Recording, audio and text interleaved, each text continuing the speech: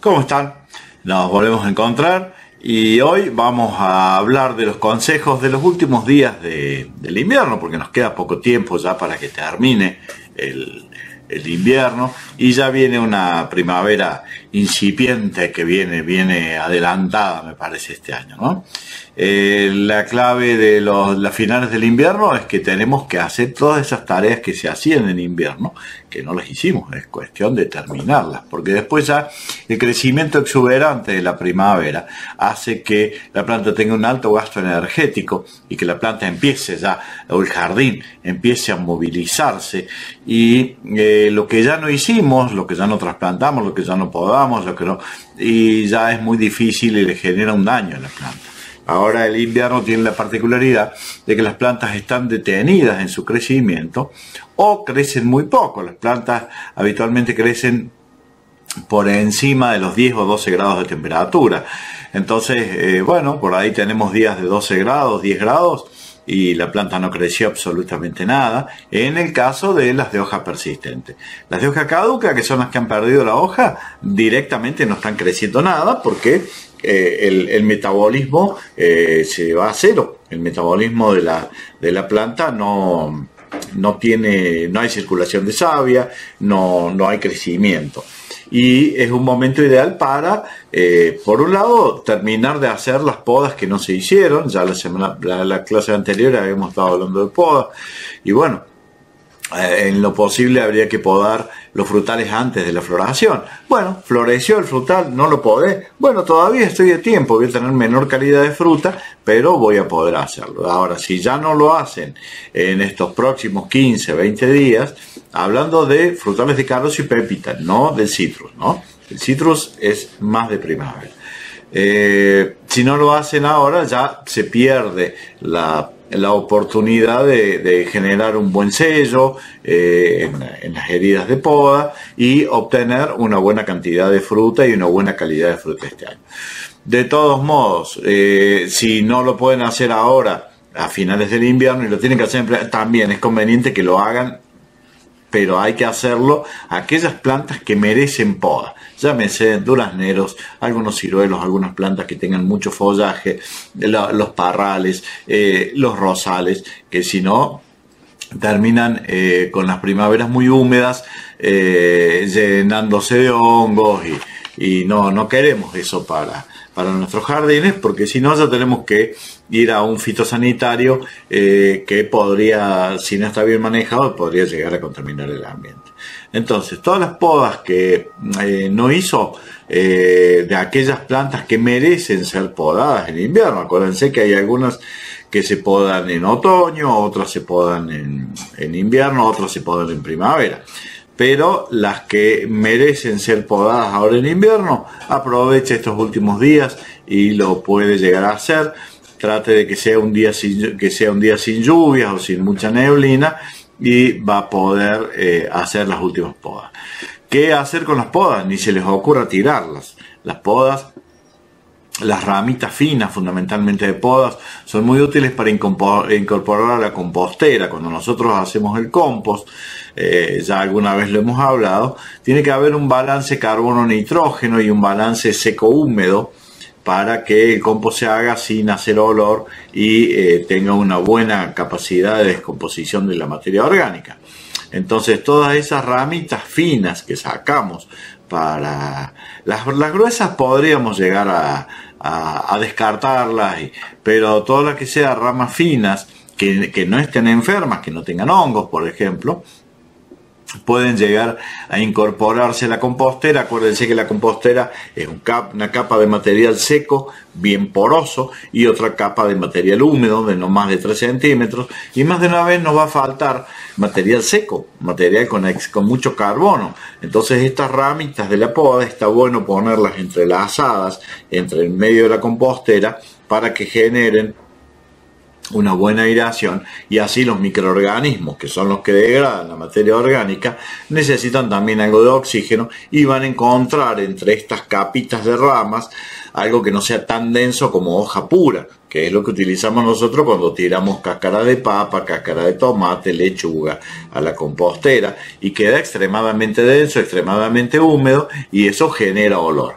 Nosotros poniendo, guardando estas, ramitas de la poda, lo vamos a poder ir incorporando eh, en verano, en cualquier época del año, lo ponemos en una cajita y cada 3 centímetros de materia orgánica eh, verde o muy jugosa, llámese cáscara de tomate, cáscaras de papa, eh, pimientos, eh, bueno, que tengamos jugosa, tenemos 3 centímetros de material jugoso o de material con mucho, mucha cantidad de azúcares. vamos a poner una capita de 2 o 3 centímetros de material seco ya sea las podas de la vid, las podas de los rosales, las podas de los durazneros, las podas de los ciruelos, la parte finita, y hacemos una capita de 3 centímetros de estas podas, bien separaditas, para que genere buena aireación, y después volvemos a hacer otra capa de hojas de lechuga, resto de repollo, y todo lo que sea húmedo. Haciendo este balance vamos a tener un compost espectacular, sin olores y estamos degradando la materia orgánica. Ya la rama gruesa o la utilizamos para para el fuego, para comer asado el día de mañana o para, o para encender un, fuego. Eh, o la en una vez seca o la sacamos directamente a, al, la, también la podrían compostar si quieren la pueden llegar a hacer compost pero hay que tener una compostera grande. Pero eh, acuérdense eso de las ramitas porque es muy importante. También eh, se acaba la época de cambiar las plantas de lugar eh, yo tengo esa planta que me molesta siempre, que está al ladito del camino y la quiero correr para el fondo. O tengo una planta que está en un lugar de mucha sombra y no me florece bien, ya sea un rosal, ya sea una gardenia. Bueno, es el buen momento ahora para cambiarlo de lugar porque la planta, el metabolismo está disminuido, está prácticamente en cero porque como decíamos al principio de la charla, no está creciendo o está creciendo muy poco, entonces cuando nosotros la sacamos de un lugar para llevarla al otro, eso le genera un estrés a la planta. Pero eh, al estar el metabolismo disminuido, ese estrés no, no, no se va a notar tanto y a su vez nosotros vamos a estar rompiendo raíces. Cuando clavamos la pala, nos parece que no, pero rompemos raíces. Una planta de un metro de altura tiene un metro de profundidad de raíces. Nuestro pozo no puede ser de un metro para no romper esas raíces. Nuestro pozo va a ser de 30, 40 centímetros, lo que nos dé la pala y lo que nos dé la espalda, porque también este, la espalda nos cobra muchas veces estas, estas cosas. Bueno, en conclusión, el pozo es de 30 a 40 centímetros. En teoría, para que quede equilibrada la planta tendríamos que podar a 30 40 centímetros. No es, destruirla la planta. Entonces, bueno, le sacamos un 30% del follaje. Si la planta tenía un metro cincuenta, bueno, multiplicamos por 3. Bueno, ¿qué le voy a explicar a los contadores? ¿no? Este, pero por ahí estos videos no lo ven gente que sea contador, entonces, este, o que tenga una, formación. Eh, multiplicamos por 3, entonces si tiene un metro cincuenta, multiplicamos por 0 por 0.3 sería, este, y tendríamos 45, 45 centímetros que sacar. Eh, ese sería el 30%.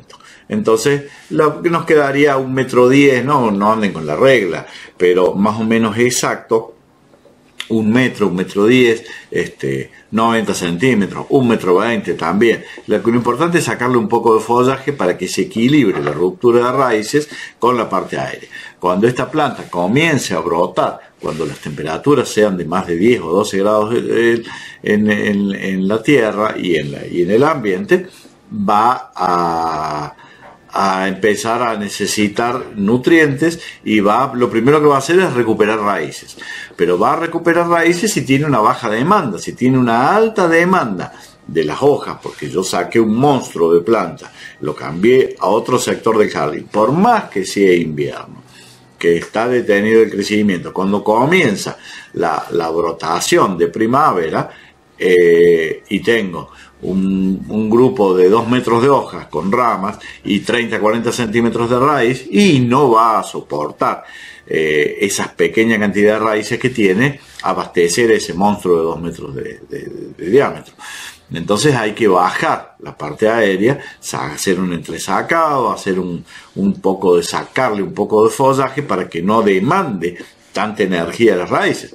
A su vez, las raíces cuando yo las corto, las raíces más absorbentes, las raíces que más capacidad tienen de sacar el agua y los minerales del suelo, son los pelos radicales, las finitas, las que, las que quedaron en el terreno.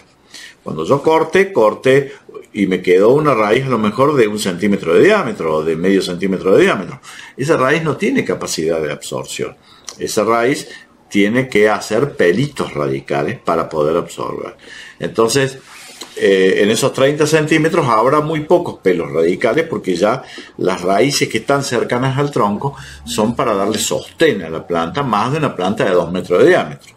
Para darle sostén, para que el viento no las quiebre, para que... Entonces esas raíces cercanas es como el tronco de esta...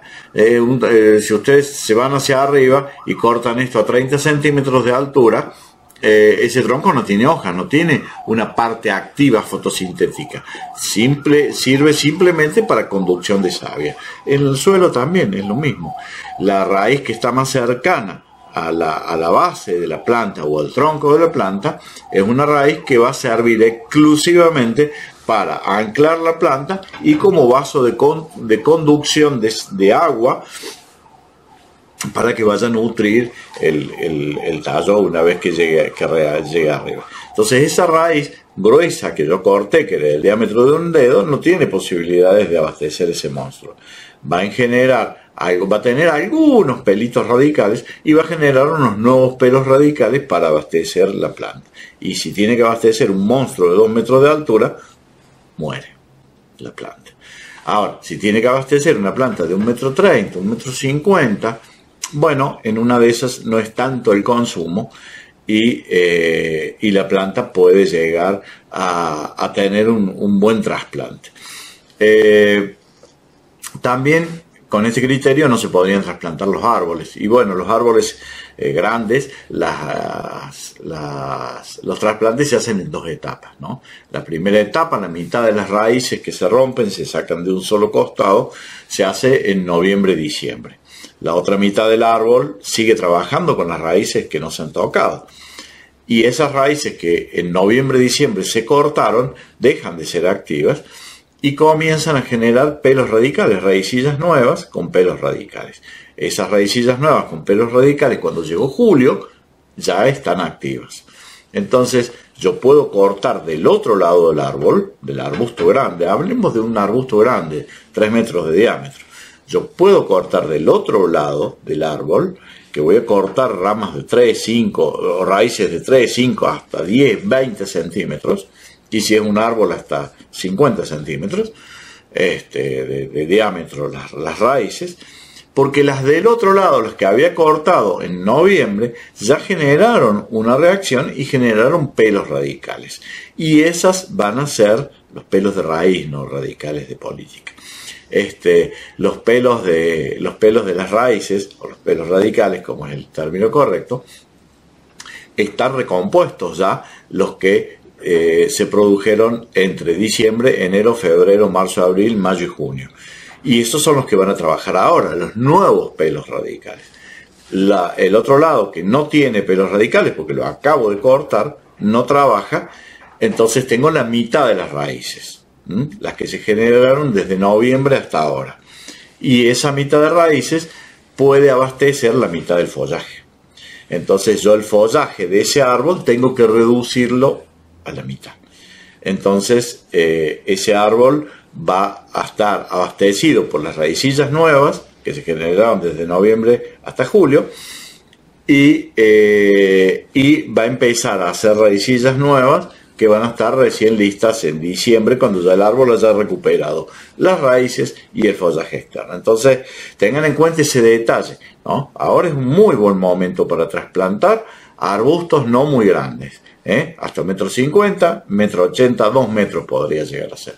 Pero ya árboles se podría llegar a trasplantar, pero habría que haber hecho un trabajo previo en noviembre-diciembre. ¿eh? Se hace la mitad y la otra mitad del, pan de tierra se hace ahora en julio-agosto.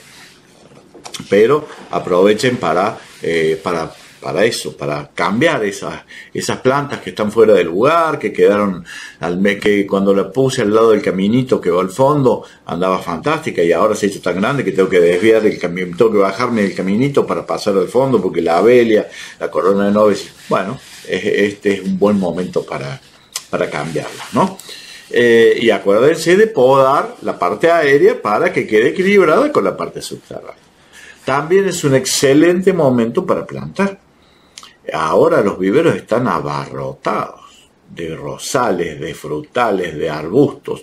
Todo lo que sea arbusto de hoja caduca, el, el vivero los trae porque le sale mucho más barato. O sea, eh, vienen a raíz desnuda, vienen 10 frutales en un paquete así. Entonces, no es lo mismo traer 100 frutales en un paquete así de grande, que le ocupa la mitad de la, de la, de la caja de la camioneta al productor, menos de la mitad, que 100 frutales en maceta le ocupan la caja de la camioneta y más todavía. Entonces es una cuestión de, de costo, de fletes, y como todo, mucha de la planta que se produce, que se vende en el centro del país y en el norte, se produce en, San Pedro, provincia de Buenos Aires, eh, otra planta de la planta que, que, se, que se produce en Corrientes, Misiones, norte de Santa Fe, la zona de Calchaquí, este, lindo Calchaquí, hace, unos lapachos y unas palmeras ahí en la, en la, segunda curva, cuando uno pasa, cuando uno pasa a Calchaquí en, en, Santa Fe, este, y bueno, esa planta traerla a Córdoba tiene un costo, o a, provincia de Buenos Aires tiene un costo elevado. Pero si yo los traigo en raíz desnuda, no, hay no tiene costo. Entonces, los viveros ahora compran paquetes de rosales, traen a lo mejor 100 rosales en un paquete así. Entonces, y lo pasan, como la planta no sufre, lo ponen ahora en maceta y lo van a estar preparando para venderlo. Y es muy buen momento para comprar a raíz desnuda. Acuérdense que yo siempre les decía que el que sabe comprar compra a raíz desnuda porque puede ver la historia de la planta, las raíces, si tiene pelos radicales, si estuvo bien tratada, si tiene hongos, eh, si no tiene. Entonces es un muy buen momento para plantar. Vayan y busquen en los viveros este, eh, eh, esta época. Aparte hay sobreoferta. el productor acaba de traerla, acaba de gastar muchos pesos en, traerlo y necesita recuperar y va a les va, les va a vender eh, porque sabe que es un, compra y vende rápido. Eh, son pocos los viveros que producen en el centro del país. Casi todo lo que ustedes van a un vivero, no, el vivero produce una sola cosa, dos.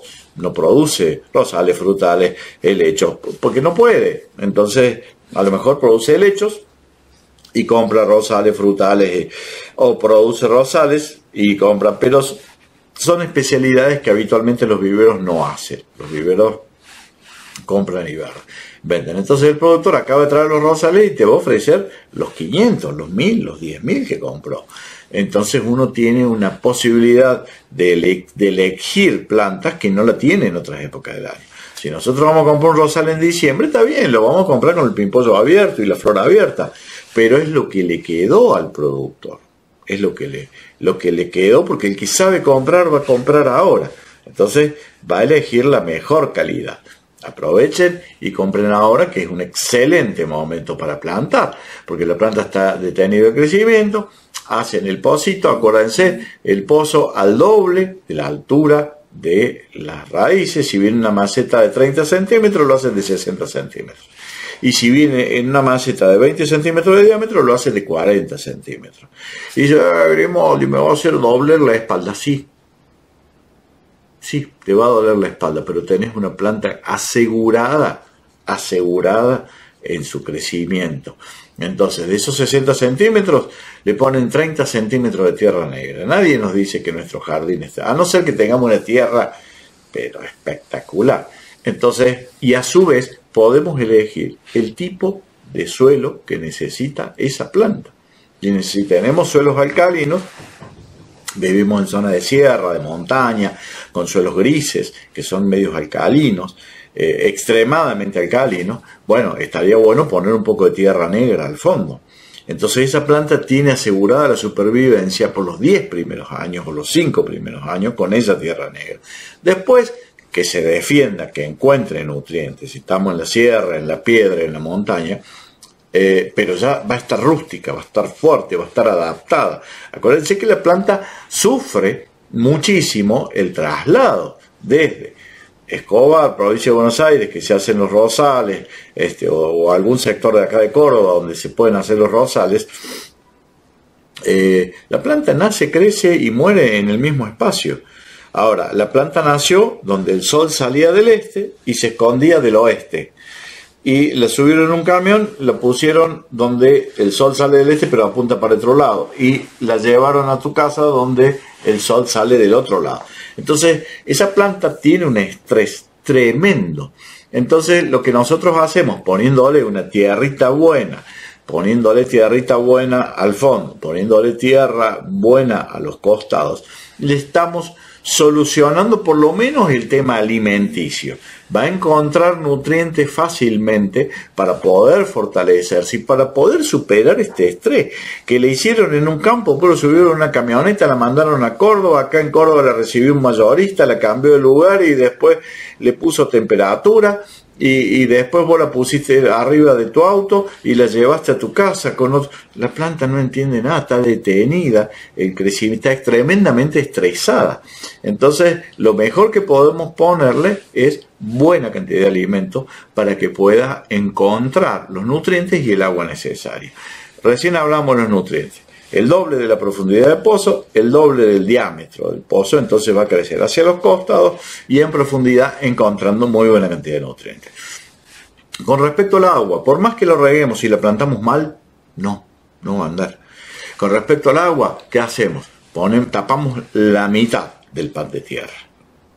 No tapen el pan de tierra hasta arriba, el hueco, tapan la mitad, pisan bien, le ponen la manguera que infiltre el agua, que se llene el, tar, el, balde. Saca la manguera, media hora más tarde bajó todo, se humedeció el fondo del pan de tierra o de las raíces que estaban raíces desnudas y tapan la otra mitad, la parte más arriba, vuelven a tapar. ¿Por qué? Porque si ustedes tapan de entrada hasta arriba y riegan, el agua, en lugar de ir copiando el pan de tierra y regar hacia abajo, el agua se va hacia lo seco. ¿Qué es lo seco? Todo el terreno estamos en invierno, está todo seco. Entonces el agua se va hacia los costados y no moja el pan de tierra. Por eso es que yo digo, planten la mitad, llenan el de agua. Algo se va a ir hacia los costados, pero va a quedar este, humedecida la raíz de la base. Vuelven a tapar lo que faltaba, siempre que quede una, una ollita, una cazuelita, pisan muy bien, no se olviden de pisar. El error de la gente es no pisarle alrededor. Le tiene miedo, no, pisen, compacten bien alrededor. Que esa tierra nueva que le están dando entre en contacto firme con el pan de tierra y rieguen nuevamente. Y tienen que cuidarlo del riego los primeros días para que eh, empiece a, a, producirse la capilaridad entre la humedad que está afuera y la humedad del pan de tierra y ahí estaría un poco el, éxito, el éxito asegurado de, la planta. ¿Qué otra tarea tenemos este, aparte de los trasplantes? Lo que no se trasplanta ahora son los citrus. Los citrus los vamos a trasplantar ya en primavera, ¿no? Porque los citrus tienen, y los jazmines saben tener algunos problemitas este, relacionados al, al trasplante. Necesitan tierras tibias y todavía la tierra no está tibia, la tierra está fría. Eh, haciendo el trasplante de los citros y los jazmines en primavera va a andar mucho mejor, ¿no? Eh, bueno, aprovechen ya que esté el pasto amarillo y saquen todos los yuyos que se ven. ¿Mm? Ya en un, en un, tiempo el, césped va a estar todo verde y no se ven los yuyos y nos ganaron los yuyos. Y si el yuyo en primavera va a florecer, si lo dejamos ahora en primavera florece y tenemos cientos alrededor. Entonces aprovechen que esté el pasto amarillento y identifican los yuyos y salgan a la siesta a arrancar los yuyitos, ¿eh? mientras van haciendo, después de almorzar, que se van haciendo una, una, una, van, buscan la mandarina, que hagan lo que, lo que hago yo, van, buscan la mandarina, después de comer la sacan del árbol y se comen el postre del patio, empiezan a sacar yuyitos y sacan tres usitos por día, no hace falta que se pongan de rodillas, no, tres usitos, cuatro usitos, los que están camino al, al, mandarino. Después van sacando el resto y eh, llega la primavera, no hay yuyos, porque la primavera florece todo, y cuando florece semilla, y cuando semilla nacen más yuyos para... Entonces es el momento ideal para eso, el momento ideal, aparte se ve, lo que yuyo está verde, la maleza está verde y el césped está medio amarillento. Entonces, este es un excelente momento para eso. Vamos un mate. Eh, bueno, momento ideal para dividir los gladiolos. Los gladiolos del año pasado se llenaron de hijitos alrededor y esos hijitos están viviendo de la madre y ahora no van a tener fuerza este, para ser independientes. Saquen ese bulbito de gladiolo, le dividen los hijitos y eh, van a los separan un poco y van a es un muy buen para dividir las dalias si no sacaste las dalias de tierra sacalas ahora dividilas para que no compartan un mismo tallo porque si no van a ser dalias siempre débiles eh, las dividen y van a hacer hijuelos de esas dalias este, para que la primavera y el verano eh, florezcan espectacular. Si las tenés en tierra, si no las tenés en tierra, tanto gladiolos como dalias es un excelente momento para plantarlas ahora porque ya en unos días van a empezar a brotar eso con respecto a las, a las bulbosas, ¿no? Eh, con respecto a, los esquejes, es el momento ideal para hacer esquejes, para hacer gajitos, cuando ponen la hortensia, por ejemplo, hacer los gajos cortitos, acuérdense lo que hablamos alguna vez cuando, cuando hablamos de esquejes, de hacer gajos, gajos cortos, hacer esquejes lo más cortos posibles, mientras más cortos sean los entrenudos, más posibilidades de prender va a tener este, este esqueje. Así que eh, aprovechen y, y hagan esquejes cuando poden el rosal también, cuando poden todas las podas, es buen momento para hacer, para hacer esquejes, este, de esquejes leñosos, eh, que son aquellos que se producen a finales del invierno, siempre cortos, no hagan esquejes de 20 centímetros de altura. Este, los esquejes no tienen que tener, en el caso de los rosales, más de 10 centímetros, 15 centímetros al sumo, y siempre eligiendo eh, lugares donde hay muchas yemas cercanas o entre nudos cortos, ¿no? que entre la distancia entre una hoja y otra sea corta. Cuando es larga, no sirve para, para hacer esquejes. ¿no?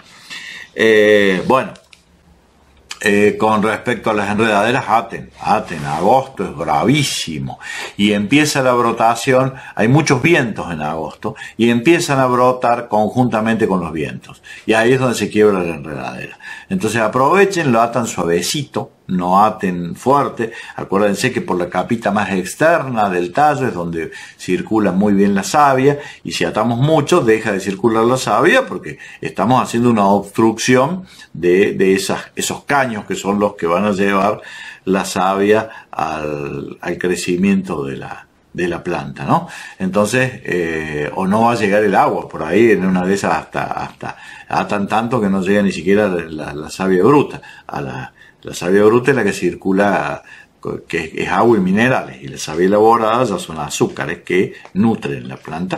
O sea, se elabora en las hojas y de ahí va bajando para distribuirse por el resto de la planta. Si atamos mucho, este, muy fuerte, eh, la savia elaborada no se distribuye y la savia bruta tampoco. Entonces, este, hay que atar suavecito, pero hay que atar, porque si no es enredadera, viene el viento de agosto, la quiebra y ya trabajamos todo el año para tener una planta grande y se nos quiebra, se nos cae la saltarrita o se nos cae una planta que venimos trabajando hace mucho tiempo porque es la época de vientos más intensos, finales de agosto, septiembre eh, son los vientos más, es, cuando la época de los barriletes, ¿no? Que porque este, era la, la época de, del, Día del Niño, de la época cuando yo era chico por lo menos los barriletes era, era agosto el mes de, de la mayor cantidad de vientos en el centro del país, ¿no? Eh, bueno, y eh, rápido, ya se nos, se nos, se nos acaba, se nos acaba el tiempo, el bicho que nos come el tiempo. Fíjense las camelias que estén abriendo bien, que si tienen muchos pimpollos no van a abrir, entonces saquen un poco de pimpollos, los más orientados, para que la camelia abra bien. Bueno, estos serían los consejos de finales de, finales del invierno. ya viene otro, otro video donde vamos a seguir con estos consejos de, de finales del invierno, principios de primavera, pero es un poco este, lo que quería transmitirles, esta última posibilidad de trasplantar, de podar y todo eso. El próximo video va a ser más de principios de, de primavera y nos volvemos a encontrar ahí.